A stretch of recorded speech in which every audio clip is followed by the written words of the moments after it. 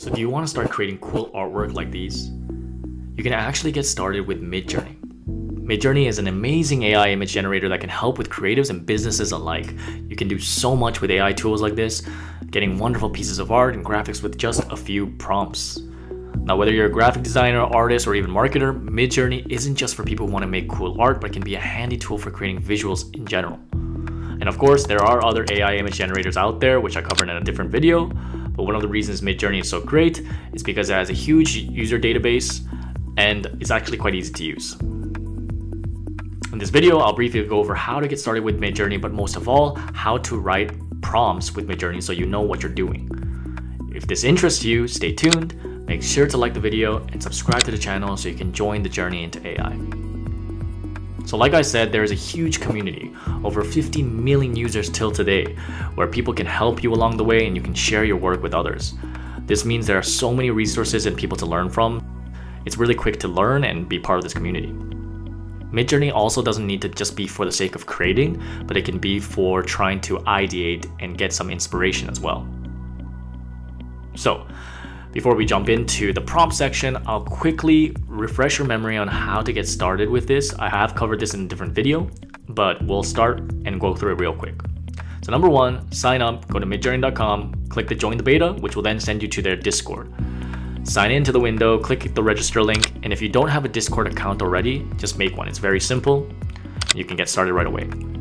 Number two, join the Midjourney community. Once you're in, join the join the community. And for those who are new to Discord, just go to Explore Public Servers and then search Midjourney, and then you can find it and access it. Once you're in, then you just see a bunch of channels on the left. Click the newbie channel and just take a look at some of the images there.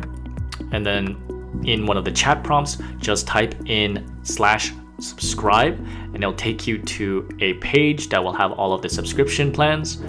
Um, I would say basic plans should be sufficient for most users, but once the payment goes through, you should be able to freely create.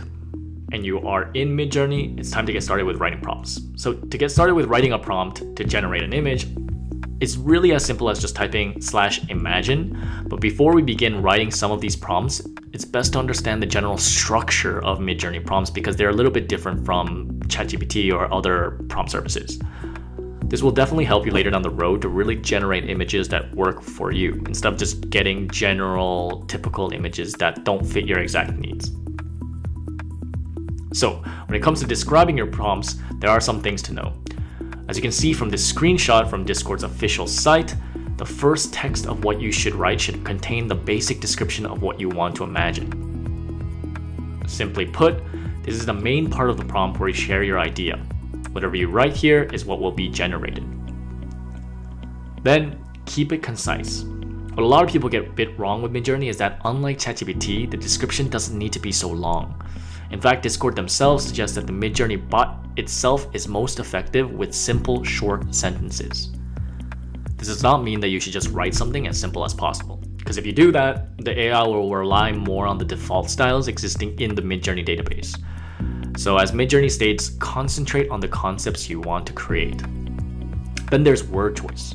When it comes to describing your prompt, take note that the Midjourney bot isn't super compatible with full-on grammar or sentence structure, so what it takes into account is actually word choice.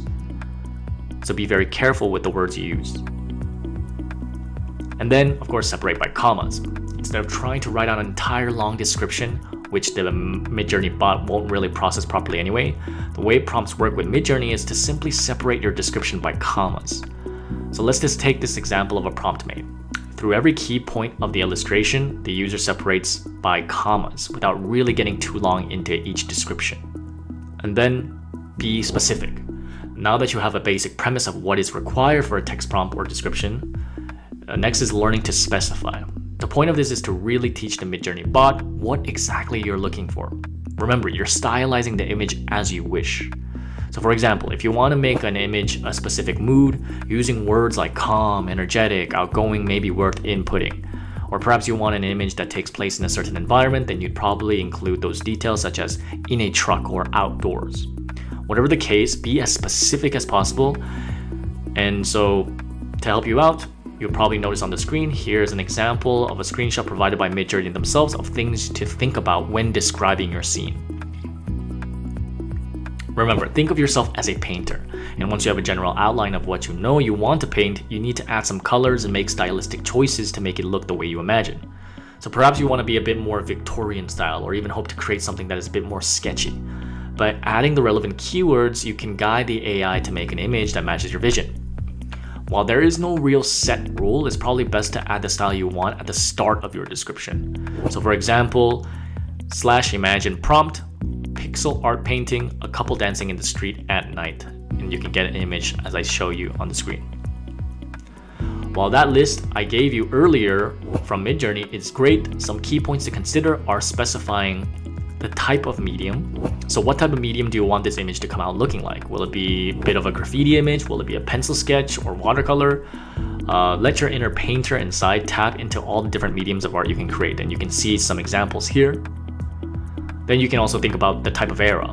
Are you looking into creating something more resembling to a specific era style? So art has a long history and depending on its period, the style may look different. So go back in time and make it clear on how you can add that into your prompt.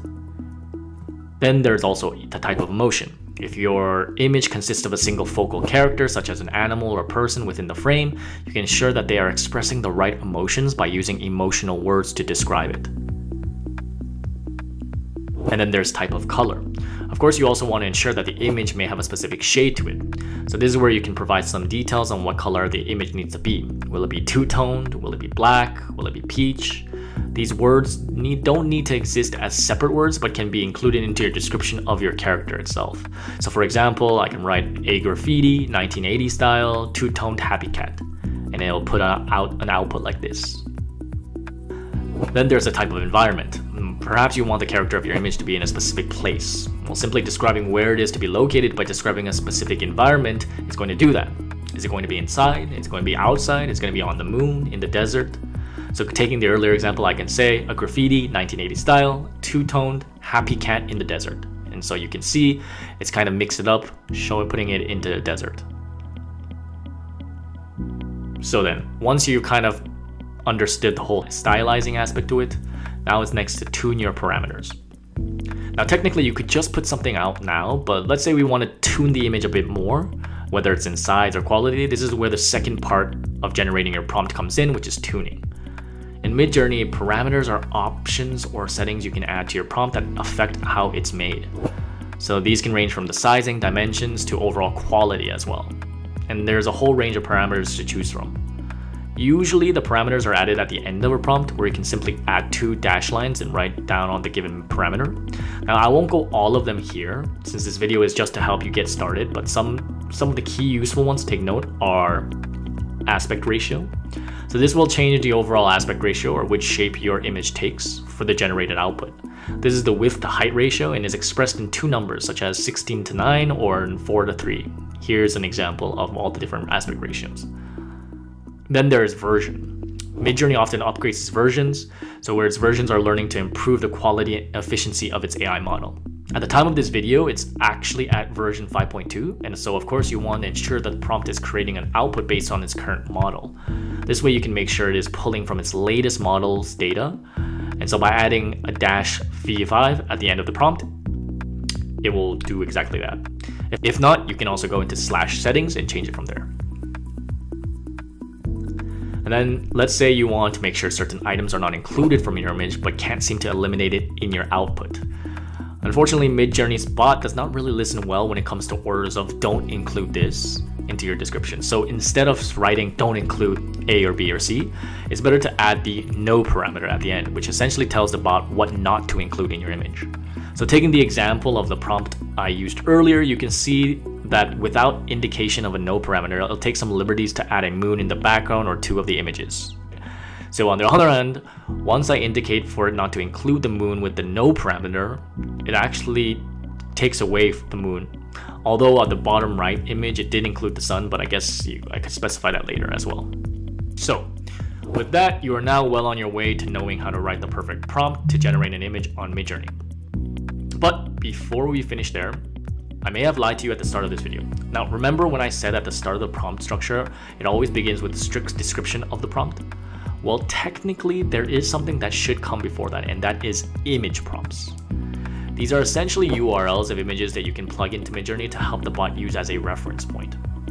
One of the reasons I left this part for later in this video is because technically this is only really used for when you want to get Midjourney to use set image as a starting base for when it adds on further details.